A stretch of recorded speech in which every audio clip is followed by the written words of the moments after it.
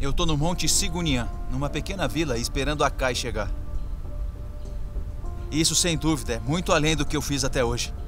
Por causa da altitude e das temperaturas, tudo aqui é muito arriscado. Tem um risco muito maior de hipotermia, um risco muito maior de mal da montanha. Oi! Oi, Kai, e aí?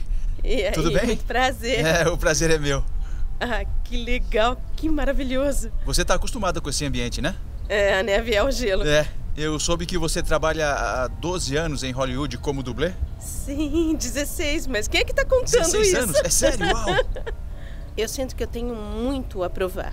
As mulheres têm que trabalhar o dobro para serem consideradas no mínimo boas. Por ser a única mulher nesse desafio, seria maravilhoso para mim ser a primeira a chegar. E aí, gente, pulem pra dentro. Oi. Que bom Vai que você pegar. chegou. Agora vai pegar. Tá legal? Pode pressionar. Aperta o acelerador, por favor. Aperta aí, aperta. Isso aí. Tá. É um carro de dois motoristas. Sabe o que é, Kai? O problema desse carro é que a essa altitude ele não se dá bem. O motor é aspirado, ele precisa de oxigênio. Tipo a gente. O Gary é um velho amigo meu. Ele foi da Força Especial e passou muito tempo acima da linha da neve. Ele criou o percurso e se alguma coisa der errado, vai ser ele quem vai liderar a equipe para resgatar a gente. A temperatura tá chegando a menos 9 e com o vento chega a menos 18. A pele exposta a essas temperaturas pode sofrer muitas queimaduras. E Ed, eu sei que você já teve queimaduras pelo frio, então tem que tomar muito cuidado. Queimaduras pelo frio podem voltar. E essa é uma fraqueza que eu tenho. É aqui. Essa é a cadeia de montanhas de Sigunian. Como vocês podem ver, temos montanhas de mais de 6 mil metros.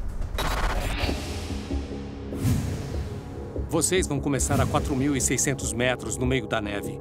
No vale tem algumas florestas que oferecem refúgio das montanhas frígidas e praticamente sem vida.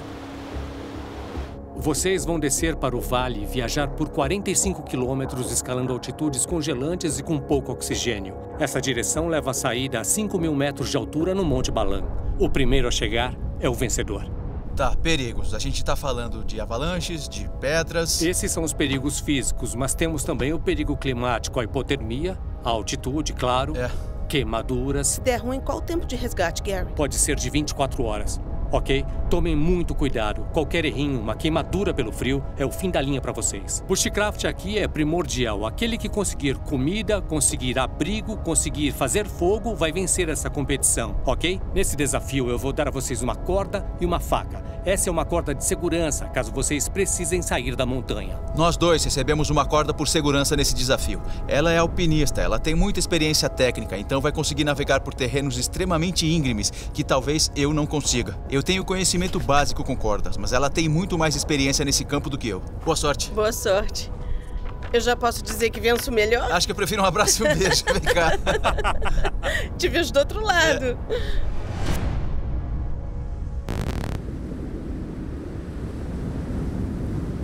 Eu vejo vocês no Monte Balang. Se preparem. Já!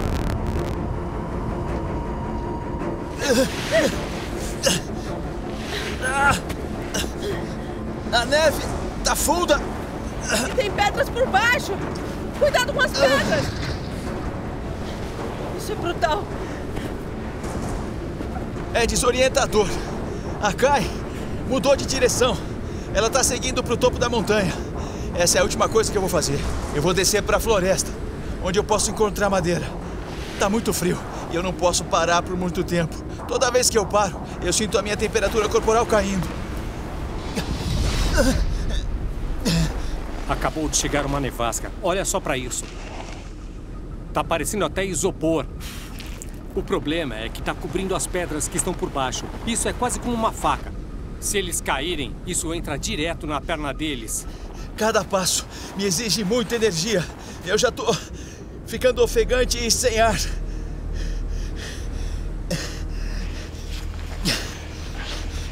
Eu tô exausto.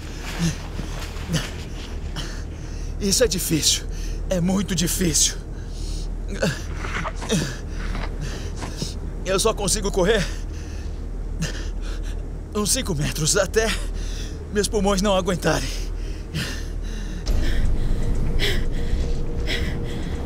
Eu já tô exausta. Será que ainda tem oxigênio no ar? A minha perna está enterrada na neve. Eu vou seguir uma estratégia diferente aqui. Vou seguir por esses afloramentos. Porque eu vou conseguir me mover muito mais rápido. Ai, que jeito difícil de começar um desafio. A Kai ficou no alto, mas ela saiu da neve e seguiu pelas pedras. Ela parece ter seguido uma rota mais direta, porém mais difícil pelas montanhas. Isso vai testar as habilidades dela. O Ed está seguindo em direção ao vale, o que é uma rota mais fácil e mais longa. Mas para chegar lá, ele vai ter que atravessar a neve primeiro. O dedão do pé direito está começando a ficar dormente. Esse é o meu calcanhar de Aquiles. É o meu dedo que congelou. Eu preciso chegar naquela floresta. Eu preciso me aquecer.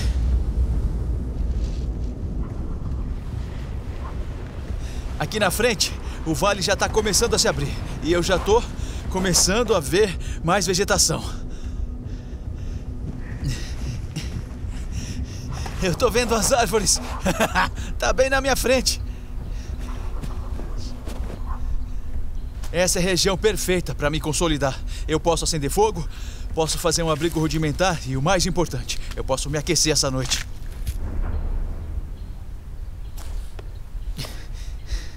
Esse pedaço de madeira vai ser usado como suporte. Vai ser onde a broca vai furar. Eu vou usar o meu cadarço. Uma broca de arco pronta para ser usada. Tá começando a sair fumaça. Ah, deu câimbra na barriga. Ah! É o seguinte, aqui nessa altitude você congela muito mais rápido. O frio libera hormônios do estresse. Você gasta mais energia. Você fica desidratado e fatigado muito mais rápido. Eu tô gastando energia e ficando mais tempo com o meu pé congelado.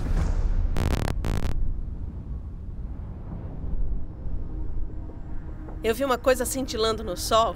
Gente, é pirita. Eu consigo fazer faíscas batendo dois pedaços de pirita um no outro. Se isso funcionar, vai ser um dos métodos mais fáceis de fazer fogo que eu vou conseguir aqui. Isso! Isso! Eu não consigo ver a faísca porque ainda tem luz do dia, mas eu sinto o cheiro. Isso aqui tem cheiro de fósforo quando é acendido. Essa pedra vai ser essencial para minha sobrevivência aqui.